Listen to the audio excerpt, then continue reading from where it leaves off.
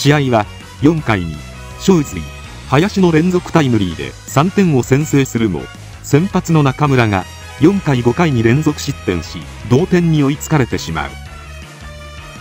この日の中村は毎回安打を許す苦しいピッチング。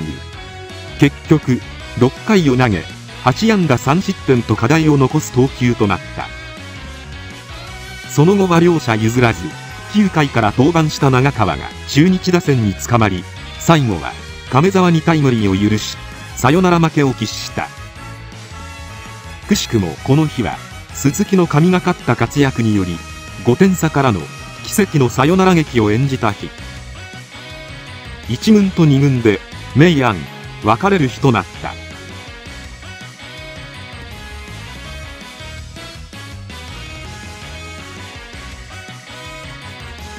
4月のヤクルト戦で1回6四球と不安定な投球を披露し2軍調整となっていた岡田が今季初めて2軍のマウンドに登った。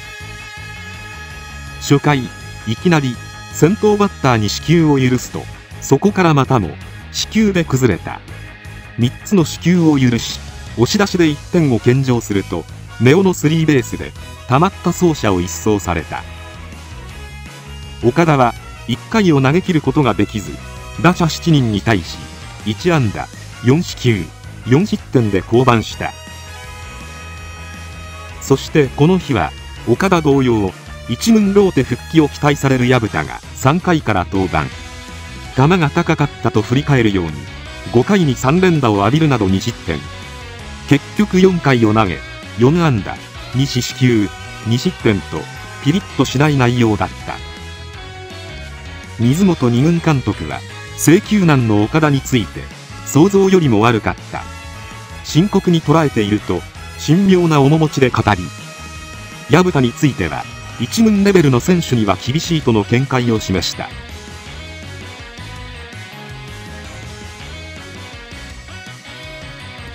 左肘にメスを入れ3ヶ月。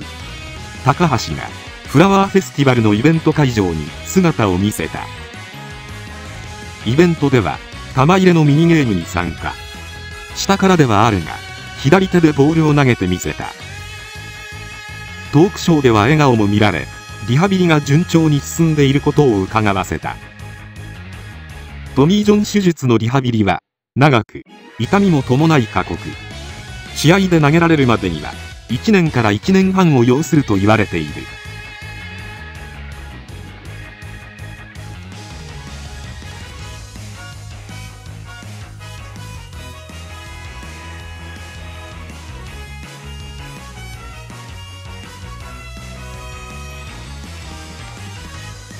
すぐにでも投げたいという気持ちは当然あるだろう。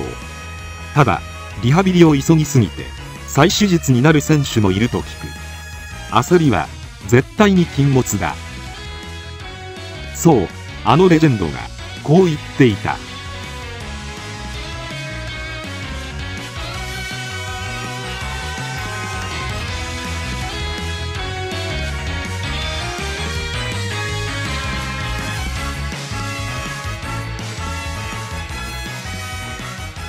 チャンネル登録よろしくお願いいたします。